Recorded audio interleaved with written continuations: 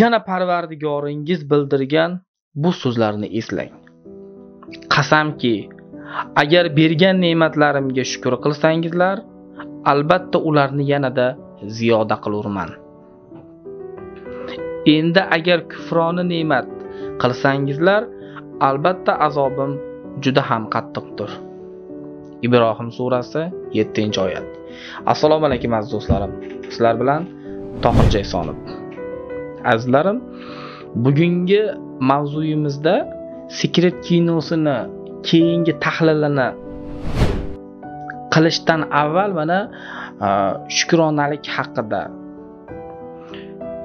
ya'ni shukronalik haqidagi oyatni misol keltirdik. Nimaga? Aynan minnatdorlikni va insonni o'zida bor narsalariga shukronalik keltirish qanchalik muhimligini bilish uchun. Bizni kuzatuvchilarimizdan juda yam minnatdormiz. Judayam odamlar aktiv qatnashyapti. Hmm, bizga e'tibor berib kelayotganinglardan va har bitta videolarimizni qoldirmasdan kuzatib vaqtinglarni sarflab va shu bilan birga mana shu bilimlarni o'zlashtirib hayotinglarni qaysidir ma'noda o'zgartirayotganinglardan judayam xursandman. Bunga sabab bizga kelayotgan rahmatnomalar minnatdorliklar. Sizlar qancha ruhlanib qancha hayotinglar yaxshilangan sari demak biz bu yerda bekor o'tirmayotganimizni his qilamiz va bu bizga judayam katta motivatsiya beradi. Ho'p mm, hali kutilmagan videolar juda yam ko'p. Bu yoqda videolar ko'paygan sari bu yoqda yangi yangi ideyalar yangi loyihalar kelib yotibdi. Xudo xohlasa hammasini bitta bitta bitta bitta amalga oshirib boramiz va maqsadimiz insonlarni ongini ochib hayotda shaxsiy rivojida qaysidir ma'noda hissa qo'shish ho'p videoni asosiy qismiga o'tishdan oldin bitta narsani aytib ketay. Bizni yaqinda kuzatishda boshlaganlar sizlar уже raqamdan foydalanyapsizlar. Va hokazo va hokazo. Ya'ni bu shirk deganda gap qilyapti. Bitta narsani sizlarga aytib ketay. Mana o'sha insonga o'sha insonga. Tug'ilgan oy kuningiz nechi desam aytolmadi. Nimaga? Chunki o'shani aytsam siz menga o'zimni gapimga o'zim yopishtirasiz deyapti. Vaholanki hamma yo'q ollohniki hamma yo'q. Hattoki bu yil mana ikki ming yigirma birinchi yil nima bo'ldi? Raqamlashtirish yili bo'ldi. Vaholanki mana shu algoritmlarni tuzib chiqqan inson bizni boboyimiz al xorozmiy bo'ladi. O'shaning uchun hamma narsani yaxshi tomonini ko'rishga intiladigan bo'lsak yaxshi ko'z bilan qarashga oshiqadigan bo'lsak albatta bu bizga foydadan xoli bo'lmaydi degan umidda bugungi mavzuyimizni boshlaymiz. Sekret kino tahlilini oltinchi darsi. Sekret kinoda aytilgan eng asosiy so'zlardan biri va eng ko'zga tashlanarli so'zlardan biri. Birinchisi minnatdorlikni ahamiyatini bilib oling ya'ni jo vitalini so'zlari. Ikkinchisi vizualizatsiyani qanday bajarish kerak? Mana shular haqida batafsil suhbatlashamiz. Minnatdorlikni ahamiyati qanchalikligini qisqa so'z bilan mana boshida kirish qismida aytib o'tib ketdik ya'ni qur'ondagi oyat bilan. Endi hayotimizda mana shu o'zimizni hayotimizni qo'llashda buni ahamiyati qanchalik katta? Biz mana shuncha kundan beri biz bilib kelyapmizki insonni o'y fikrlari qayoqqa qaratilgan bo'lsa uning natijasi ham xuddi o'shan bilan bir xil bo'lishini angladik. Endi xuddi shu kabi bugungi kunda ya'ni minnatdorlik deganda shu ko'pchilik odamlar shu og'iz bilan endi xudoga shukur xudoga shukur degandan boshqa narsaga o'tolmay qoldik. Nimaga? Chunki biz aynan minnatdorlikni asl mag'zini tushunib yetmaganimizdan. Ya'ni qachonki biz minnatdorlikni asl mag'zini tushunib yetadigan bo'lsak bizni hayotimiz o'z uz o'zidan yaxshi tomonga o'zgarishni boshlaydi. Bu qanday bo'ladi? Mana e'tibor bering e'tibor bering. Ertalabdan kechgacha gapirayotgan so'zlaringizga e'tibor bering. Taxminan o'sha so'zlardan necha foizi sizni qarshingizga ishlaydi? Ya'ni tasavvur qiling har bir og'zingizdan chiqayotgan so'zlaringiz Allohning qudrati bilan srazi srazi srazi real hayotda paydo bo'lsa. Endi tasavvur qilib ko'ringchi bugun ertamandan kechgacha aytgan so'zlaringizni nechtasi sizni qarshingizga ishlaydigan so'zlar nechtasi sizni foydangizga ishlaydigan so'zlar. O'shaning uchun biz biz bor diqqat e'tiborimizni o'zimizda yo'q narsalarga qaratib olganmiz. Bu bir. Ikkinchisi aynan o'zimizni boshqalar bilan solishtirishga. Mana bu eng katta ikkita bu omil bizni to'shna muvaffaqiyatsizlikka olib boradigan omil. Birinchi omil e, endi mana tasavvur qiling sizni atrofingizdagi insonlar oshna og'aynilaringiz bo'ladimi opa singillaringiz bo'ladimi? Gapirayotgan so'zlarga e'tibor bering. Va ana shu insonlar nima haqida so'zlayotganidan qat'iy nazar siz ham o'shalarni energiyasidasiz bugungi kunga kelib insonlar shu darajaga yetdiki shu darajaga yetdiki. Hattoki mana ikki kishi o'tirib qolsa bir birini dardini aytishni boshlaydi. Как будто biri ikkinchisi как musobaqada bir rosa mana shu bo'rttirib manaqa bo'lyapti unaqa bo'lyapti u bo'lyapti bu bo'lyapti deb turib gapirsa ikkinchisi shumi ha menikini oldida holva ekan deb turib boshlaydi.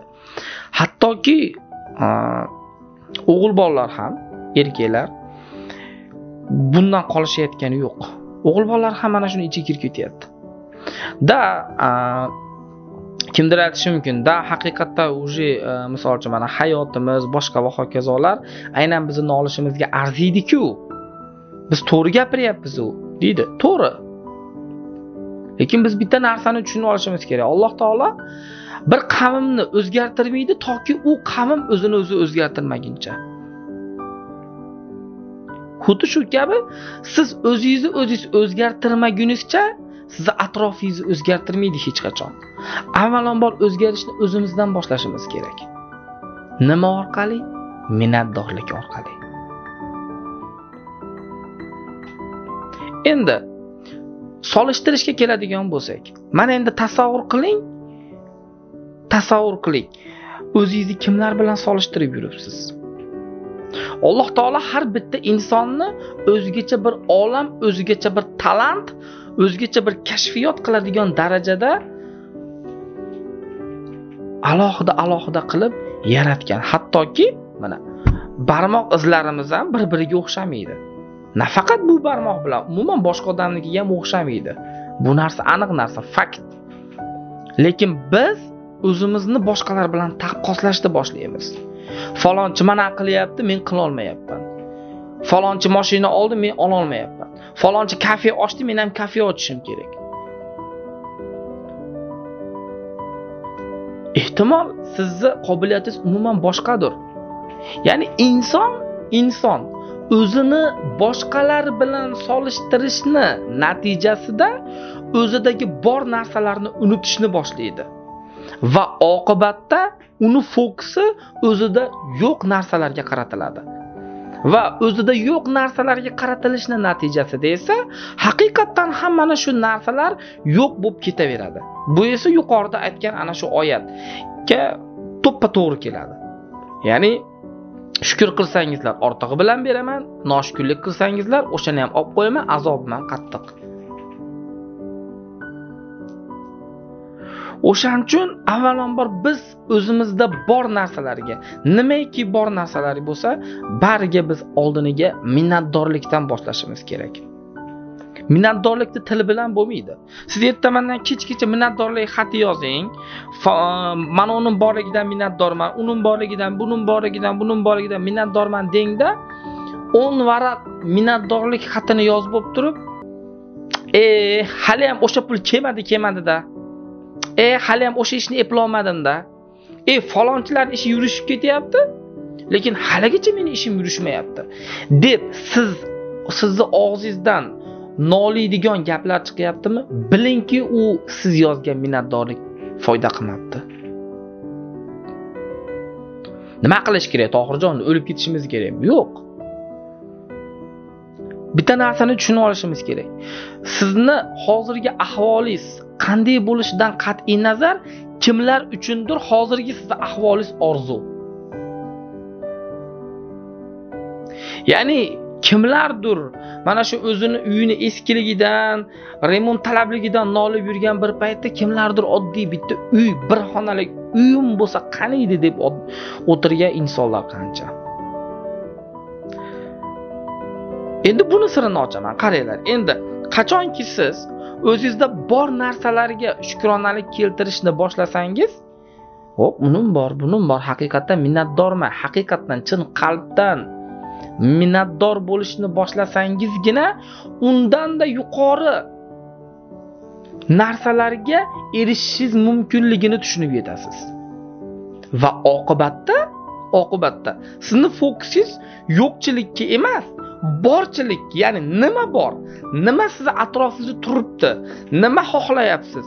Orzu umidlariga fokus qaratiladi va bitta bitta erishishni boshlaysiz. O'shaning uchun avvalambor minnatdorlik bu chin qalbdan bo'lishi kerak. Yozma yo shunchaki og'zaki ketmaydi. O'zingizni hech kim bilan solishtirmang. Siz yagona insonsiz. Falonchi odam boy bo'lib ketayotgan bo'lsa siz ham aynan o'sha ishni qilib boy bo'lishingiz mumkin degani emas. Bizni yoshligimizdan mana juda ko'p ota onalar juda ko'p ota onalar mana shu yoshligidan bolasini shunaqa qilib buzib qo'yadi. Ya'ni ana falonchi oshnangga qara besh baho olibdi sen ololmayapsan.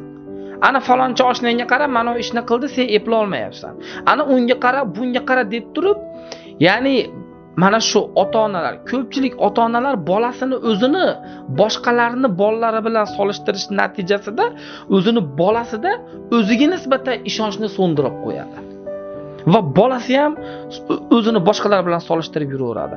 Qachonki siz o'zingizni boshqalar bilan solishtirib o'sha qilgan ishni harakatni qilmoqchimisiz siz? Baribir undan orqadasiz. Chunki u qilgan narsalarni qilib yuribsizda. Siz o'zgacha yo'l tuting. Mana stiv jobs mana apple chiqardiyu mana. Uni zaryadkasi ham boshqacha. A firdaus zaryadkasi ham boshqacha. Keyin haligi play marketda ham haligi iosmi? Shunaqa dasturi bor. Shunaqami to'g'ri aytyapmanmi faqatgina iphonelar uchun moslangan. Ya'ni tasavvur qiling har bir inson o'ziga xos bir iphone. Unda unga boshqacha zaryadga tushadi. Boshqacha приложение kerak. Har bir inson agar mana shuni tushuna oladigan bo'lsa o'zini boshqalar bilan solishtirishni yo'q qilib o'zida bor imkoniyatdan foydalanib o'zida bor narsalarga minnatdorlik bildirib harakat qilsa albatta Alloh beradi. Mana sizlarga minnatdorlikni ahamiyatini qisqacha tafsiri. 15 minut gapirdizu tohirjon qisqachami? Qisqacha. Minnatdorlik haqida to'xtamasdan gapirishi mumkin. Vizualizatsiyani qanday qilish kerak? Vizualizatsiyani. Vizualizatsiyani aytishdan oldin duo haqida aytib ketay. Ya'ni ko'pchilik tohirjon bu dinimizda yo'q vizualizatsiya bular kofirlarniki va hokazo deyishdan oldin mana shunaqa deyishdan oldin men duo haqida gapirib olay. Vizualizatsiya yoki duo? Payg'ambarimiz rasululloh sollallohu alayhi vasallam aytganki ey so'ramaysizlarmi firdavsul avloni so'ranglar katta narsani so'ranglar degan. Xuddi shu kabi ya'ni duo qilayotganda ham biz o'shani Alloh berishiga ishonib qilishimiz kerak. Vizualizatsiya qanday bo'ladi? Tasavvur qiling ko'zingizni yumasiz. Aytaylik o'sha moshinadir o'sha uydir o'sha xotindir. Yana kim? Nimani xohlayapsiz? Ko'zingiz yumgan holda. Hayolan siz o'sha vaziyatda yashashni boshlaysiz. Moshina xohlayapsizmi moshina minasiz hayolan uy xohlayapsizmi? Uyda. Uyda yashaysiz xuddi shu kabi. Va bu narsa menga qanday kelishi mumkin degan savolni bermaysiz. Buni faqat Alloh biladi. Ha buni sekret kinoda olam o'zi yo'l topadi deyilgan. Chunki chunki dunyoda 7 milliard aholi bo'ladigan bo'lsa hammasi musulmon emas. Haligi Allohni tan olib Alloh yagonaligini tan olib.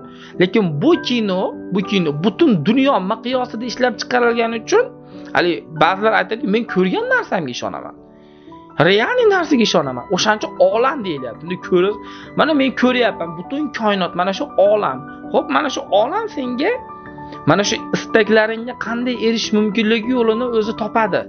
Deb turib yana ham tushunarli tilda gapirib beryapti. Lekin alhamdulillah biz musulmon bo'lganligimiz uchun alhamdulillah biz musulmon bo'lganimiz uchun deganimda bitta akani gapi esimga tushib ketdi. Bittasi bir dasturxon qilib kommentariy yozibdi. O'zi siz islom dinidamisiz? Ko'pchilik ezoteriklar musulmon emas va hokazo va hokazo deb alhamdulillah men musulmonman. Musulmonman. Ko'pchilik ezoteriklar endi bilmadim endi siz endi bitta ikkitasini bilsangiz o'shalar endi boshqa dinga kirib ketgan bo'lsa endi bilmadim. Lekin bitta gap borda inson inson bu dunyoda har qancha bilimlarni egasi bo'lmasin. Butun dunyoni qonunlarinidir qanaqadir sir asrorlarini kashf qilmasin. Lekin Allohni tanimabdimi? Allohni tanimagan bo'lsa demak bu bilimlar foyda bermabdi. Lekin inson hech qanaqa bir kashfiyot qilmasdan bu dunyoda qanaqadir bu cho'qqilarga chiqmagan taqdirda ham Allohni taniy olibdimi? Demak u butun bilimlarni o'zlashtiribdi. Xuddi shu kabi alhamdulillah.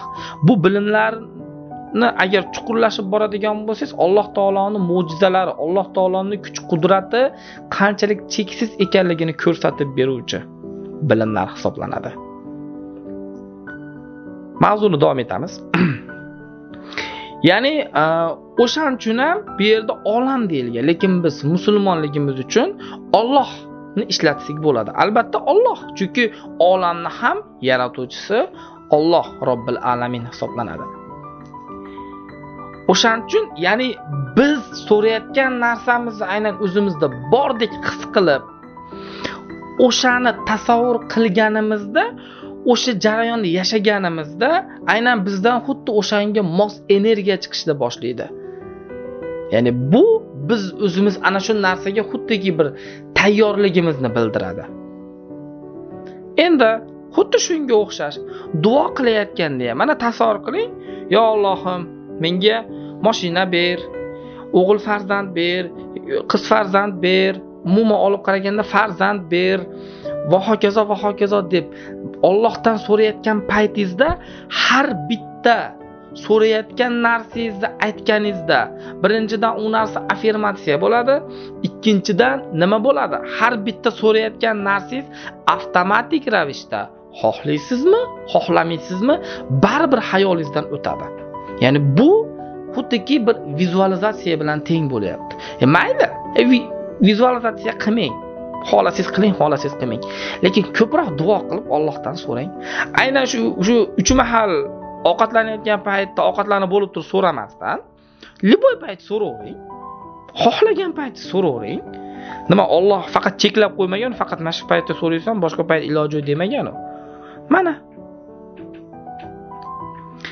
Ya'ni qachonki siz so'rab Allohdan chin qalbdan ishonib so'rab shu narsani mana shu narsaga o'zingizni moslashni tayyorligingizni ko'rsatishni boshlaganingizdan keyin sizga imkoniyatlarni ochib beradi. Deb o'ylayman. Yoki bo'lmasam oldin ko'rmagan imkoniyatlaringizni ko'rishni boshlaysiz. Ey azizlarim ishonaveringlar. Men kitobni o'qib gapirib bermayapman bu narsalarni. Mana bu kitobda manaqada yozilgan manaqa degan ekan? Yo'q. Bularni hammasini shaxsan o'zim boshimdan o'tkazgan inson bo'lib gapirib beryapman. Demak men qila oldimmi shu narsani? Menda o'xshayaptimi? Va boshqa allakimlardadir o'xshayaptimi? Demak sizlarda ham o'xshaydi. Chunki bizni xudoyimiz ham boshqani xudosi ham baribir bitta Alloh. O'shaning uchun faqat ishonch bilan so'rang. Ishonch bilan so'rang. Endi mana shu joyda yana bitta narsani aytib ketmasam bo'lmaydi. Kommentariyada ba'zi bir insonlar yozyapti. Tohirjon men falon yildan beri uy so'rayman falon yildan beri moshina so'rayman bu so'rayman vizualizatsiya ham qildim meditatsiya ham qildim affirmatsiya ham qildim hamma yo'q qildim. Lekin bu narsa meni hayotimga haligacha kirib kelgani yo'q degan savollar paydo bo'lib qolyapti. Albatta albatta bunaqa bo'lishi tabiiy. Qachon o'sha narsa kirib kelmaydi? Qachonki siz u mana shu so'rayotgan narsangizga siz tayyor bo'lmaydigan bo'lsangiz sizga o'sha narsa kirib kelmaydi. Bu degani nima degani? Bu degani aytaylik siz pul xohlayapsiz. Katta pullarni xohlayapsiz. Lekin sizni ong ostingizda ong ostingizda agar men boy bo'lib ketadigan bo'lsam pullarimni o'g'irlab ketishi mumkin. Agar men boy bo'lib ketadigan bo'lsam meni kimdir so'yib ketishi mumkin. Agar men boy bo'lib ketadigan bo'lsam mana militsiya xodimlari kelib pullarni qayerdan olding deyishing mumkin. Agar men boy bo'lib ketadigan bo'lsam zalolatga botib ketib qolishim mumkin. Agar men boy bo'lib ketib qoladigan bo'lsam qarindosh urug'larim qarz so'raverib mana shu yerdan qilib tashlashi mumkin. Ming xil variant hammada har xil. Agar sizni hayolingizda mana shunaqa e, salbiy fikrlar salbiy dasturlar bo'lsa bilingki bu dasturlarni yuklab olgan ong osti aynan mana shu kunga tushmaslik uchun ham sizni o'sha pullardan cheklab turadi. Bu bir. Ikkinchi varianti. Ikkinchi varianti. E, ko'pchilik mana o'sha pul bo'yicha raskopkaga yoziladida va mana shu raskopka qilib ong ostini kovlaganimizda nima chiqadi? Yoshligida xo'rlangan bo'ladi. Aybdorlik hissi bo'ladi. Ojizlik hissi bo'ladi. Qo'lidan hech nima kelmaydigan insondek hissi bo'ladi. Va hokazo va hokazo mana shu aybdorlik xo'rlanish nafratlanish mana shunaqa hissiyotlar bor ekan siz ana shu hissiyotlaringizni anglagan holda chiqarib tashlamasangiz bu narsa davom etaveradi. Nimaga? Chunki siz darsdan o'tolmayapsiz. Qachonki siz mana shu darsni anglagandan so'ng keyin ana shu darsdan o'tasida keyin o'sha narsa kelishni boshlaydi. A bu narsani biz raskopka va sessiya orqali anglatish orqali insonni ong ostidan ildizi bilan olib tashlaymiz natijasini allohga havola qilgan holda. Tohirjon bu narsani o'zichasiga qilsa bo'lmaydimi? Shunaqalarga bitta narsani aytaman. Siz o'zingizchasiga og'riyotgan tishingizni olib tashlolmaysiz to'g'rimi? Ombir bilan sug'urib. Yo siz qayeringizdadir bir operatsiya qilish kerak bo'lsa o'zingizni o'zingiz yorib qorningizni operatsiya qilolmaysiz to'g'rimi? Har bitta kelib chiqayotgan masalani o'ziga yarasha o'shani hal qila oladigan va bu mana shuni hal qilish uchun yillab vaqtini sarflagan mutaxassisi kerak bo'ladi. Biz ham mana shunday aynan ong ostidagi bloklarni olib tashlash uchun men yillab yillab o'z ustimda ishlab kelyapman.